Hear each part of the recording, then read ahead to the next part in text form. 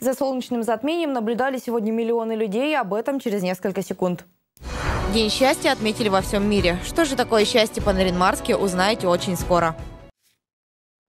В этнокультурном центре состоялась церемония награждения традиционного литературного конкурса «Я здесь родился, здесь мне жить». На этот раз его приурочили году литературы.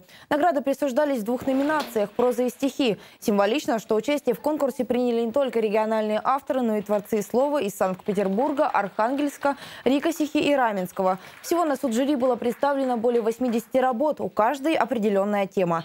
Чаще в произведениях отражались любовь к малой родине и воспоминания о Великой Отечественной войне войне. Отличился Нальминос, из поселка прислали 14 работ на русском и ненецком языках.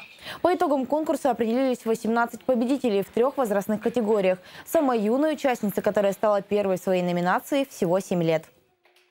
Я писала сказку. Царь отбирал у народа хитростью все богатства. Он написал указ, что поселил чудовище и оно просит, чтобы царь отдавал ему все богатства. Царю жаль, а, и он а, просит, чтобы все жили, приносили во дворец все, а из дворца все будет рисоваться чудище, а он сам все богатства себе забирал.